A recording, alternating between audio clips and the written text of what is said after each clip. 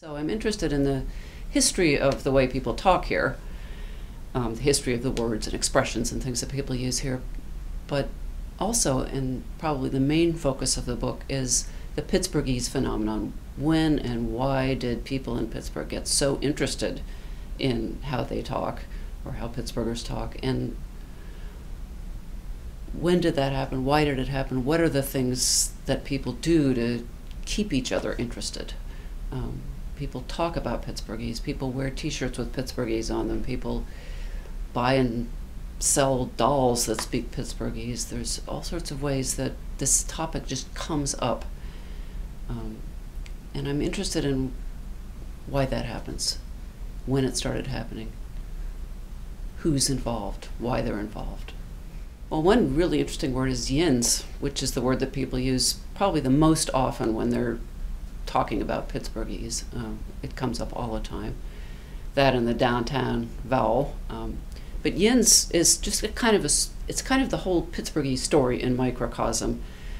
You can trace the word Yinz back to the very first people who spoke English in this area, the first permanent settlers who spoke English, who were people from Northern Ireland, families sometimes from Scotland, Northern England, and so they spoke the English the way people did where they came from, which is not at all surprising. And they used a the word yinz to mean Ewans, uh, you guys, you all, y'all, you folks, whatever.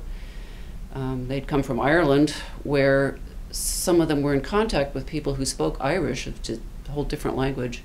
And in the Irish language, there is a separate pronoun, like in French or German, for you singular and you plural.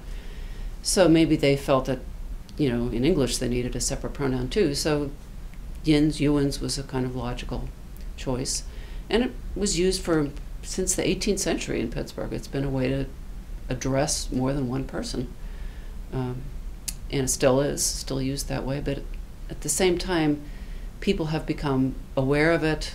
People have started to talk about it. People use it to do other things. People use it as a prefix sometimes. They use it as sort of an adjective sometimes. You could say Yinsburg, a Yinzer, uh. Um, so it gets used in completely different ways. It's gotten spelled differently over time. People argue about how it should be spelled, but uh, over time it's not spelled Yuans or Yuns so much as now Yuns or Yins so in a way, people have kind of lost track of the history of the word. And so many people in Pittsburgh think it's a single word, that, it, that is, that it doesn't break down into anything. I've had people tell me it's not a contraction, um, even though historically it is. Um, so it's just gotten kind of separated from its history in a way, and now it has a life of its own.